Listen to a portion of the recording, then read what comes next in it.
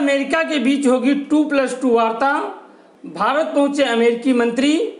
सामरिक सुरक्षा समेत कई मुद्दों पर होगी चर्चा। भारत और अमेरिका के बीच होने वाली टू प्लस टू वार्ता के लिए अमेरिका के विदेश मंत्री माइक पोम्पियो और रक्षा मंत्री मार्क टीएस पर भारत पहुँच चुके हैं।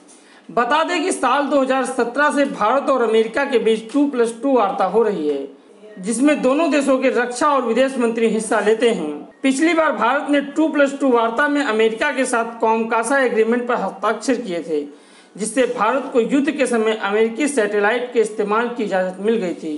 क्योंकि इस वक्त भारत और चीन के बीच तनाव जारी है, ऐसे में दोनों देशों के बीच फिर किसी बड़े रक्षा सौदे पर समझौता हो सकता है, जिससे अहंकारी चीन को संदेश दिया जा सके।